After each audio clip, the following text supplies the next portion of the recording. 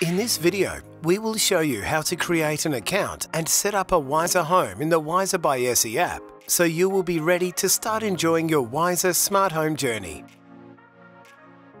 Let's get into it. To start with, go to either the iOS App Store or Google Play Store to install the Wiser by SE app.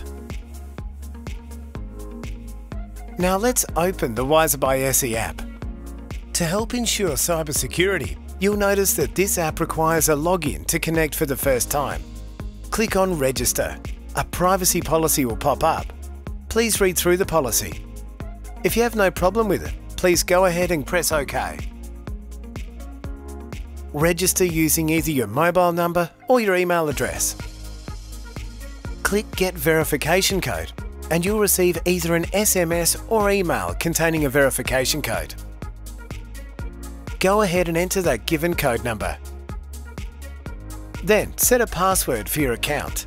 Note the password rules you must follow. Tap Done once confirmed. Once you have created your Wiser account, it is time to set up your first Wiser home. To get started as the homeowner, select to manage my home, then click Next. If you know the installer has already set up your Wiser system, you are now ready to join or take ownership of your Wiser home. Select Join a Home. Tap Let's Go. Then enter the redeem code provided to you by the installer. You will then be guided through the key features of the app. Your Wiser home will now appear.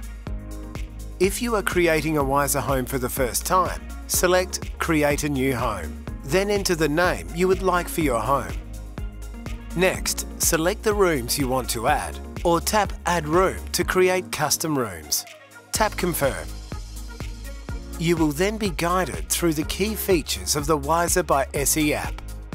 From here, select the location of the home by using the map provided, then press OK.